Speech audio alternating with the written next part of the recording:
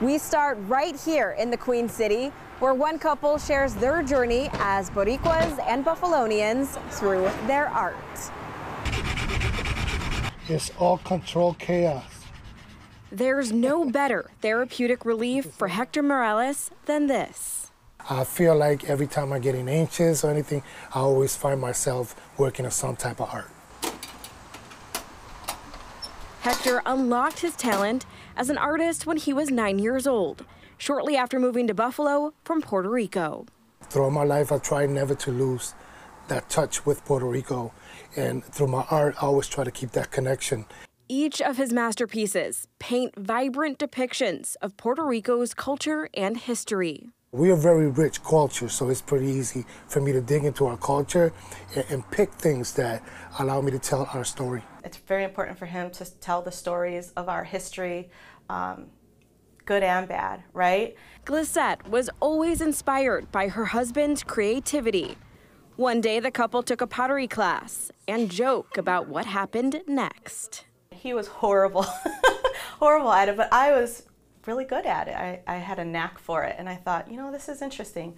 I never thought that I was creative at all until I found clay.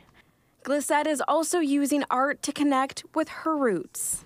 It is really through pottery that has allowed me to connect to that part of my Latino heritage, which is very specific to the island of Puerto Rico, which are indigenous Taino people. The Taino people use the technique hand coiling.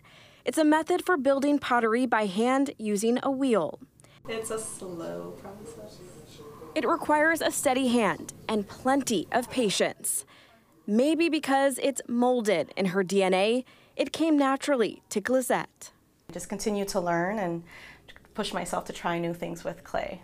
The two artists under the same roof with very different techniques. I am very linear and, and tend to be very technical about my work. I think it's the special educator in me. I want to know what are the exact steps I should follow and try to follow it. Where Nino's much more brave, I think, and takes more risk with his art.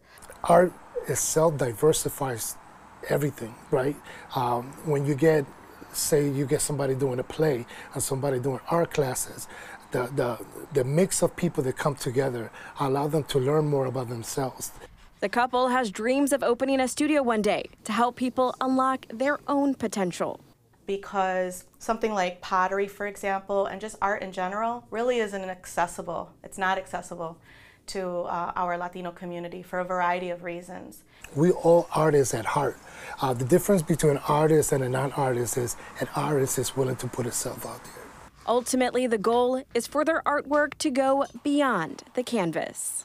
To serve as not just windows for other cultures and, and people to, to peek in and learn about our culture, but more importantly to serve as mirrors for our young Latino children to see themselves reflected in the work that we do. A lot of our youth have disconnected from who we are as people, and they're, um, we, we live in a beautiful country, and being a, a veteran, I'm proud of my country, but I'm proud of Puerto Rico, I'm proud of being Puerto Rican.